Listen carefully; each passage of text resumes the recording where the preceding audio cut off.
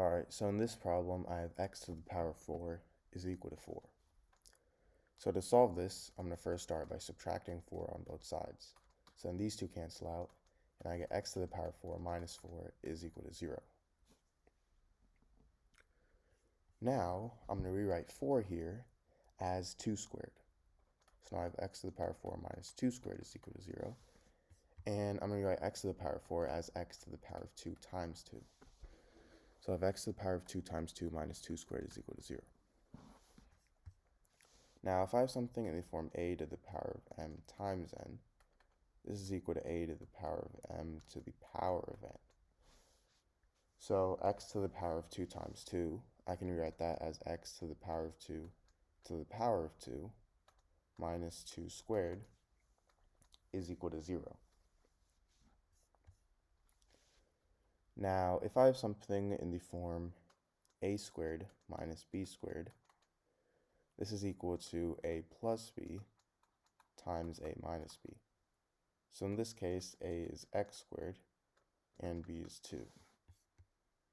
So I have x squared plus 2 times x squared minus 2 is equal to 0.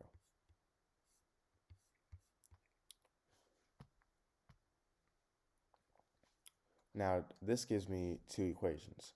I get x squared plus 2 is equal to 0, and I also get x squared minus 2 is equal to 0.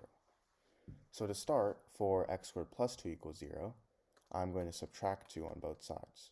So then these two cancel out, and I'm left with x squared is equal to 0 minus 2, which is negative 2. Now I'm going to take the square root on both sides. So I have the square root of x squared is equal to the square root of negative 2. Square root of x squared is obviously x, so I have x is equal to positive negative square root of negative 2. And the square root of negative 2, I can rewrite this as the square root of 2 times the square root of negative 1. And if you guys already didn't know, the square root of negative 1 is equal to the imaginary number i. So I have x is equal to positive negative the square root of 2 i. Now for this one, I have x squared minus 2 equals 0. So this time I'm going to add 2 on both sides. These two cancel out. And I get x squared is equal to 2. And now I'm going to take the square root on both sides. Square root of x squared is x. So I get x is equal to positive negative square root of 2. So now to check, sorry, that is actually, those are our four solutions to this problem. Alright, so in this problem, I have x to the power of 21 plus x to the power of 14 is equal to 36. So I'm first going to rewrite this as x to the power of 7 times 3 plus x to the power of 7 times 2 is equal to 36.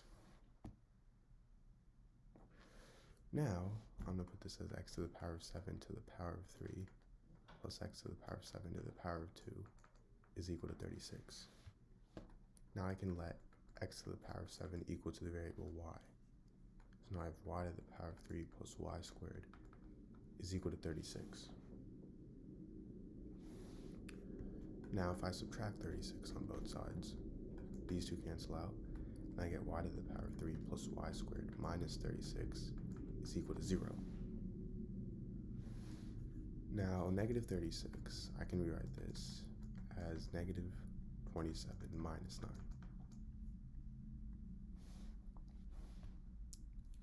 And now I can rewrite this as y to the power of 3 minus 3 to the power of 3 plus y squared minus 3 squared is equal to 0. So if I have something in the form a to the power of 3 minus b to the power of 3, this is equal to a minus b times a squared plus ab plus b squared.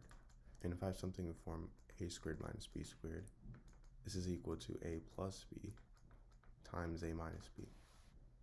So in this case, I can rewrite y to the power of 3 minus 3 to the power of 3 as y minus 3 times y squared plus 3 squared plus 3y plus, I can rewrite y squared minus 3 squared as y plus 3 times y minus 3, and this is equal to 0. Now if I factor out y minus 3, I get y minus 3 times y squared plus 9 plus 3y plus y plus 3. This is equal to 0. And this is simplifies into y minus 3 times y squared plus 4y plus 12 is equal to 0. So this gives me two equations. y minus 3 is equal to 0, which means y equals 3. This is one solution. And y squared plus 4y plus 12 is equal to 0. So to solve this, we have to use the quadratic formula, which is negative b plus or minus the square root of b squared minus 4ac over 2a.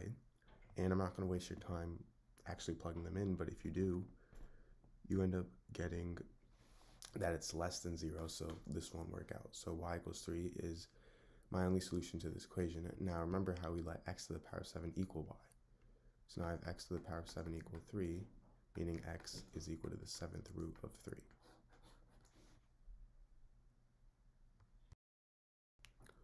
Alright, so in this problem, I have x to the power of 6 minus x to the power of 3 is equal to 2. So I'm going to first start by subtracting 2 on both sides. So now I have x to the power of 6 minus x to the power of 3 minus 2 is equal to 0. Now I'm going to rewrite x to the power of 6 as x to the power of 3 squared. Now I have this minus x to the power of 3 minus 2 is equal to 0.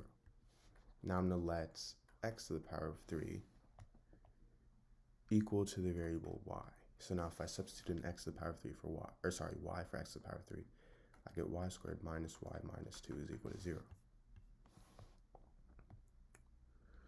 So now I'm going to factor this by rewriting this as y squared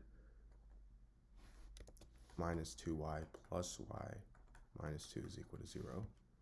Now I'm going to factor by grouping, so I have y times y minus 2 plus 1 times y minus 2 is equal to 0. So now if I factor out y minus 2, get y minus 2 times y plus 1 is equal to 0. So this gives me two equations. y minus 2 is equal to 0 and y plus 1 is equal to 0.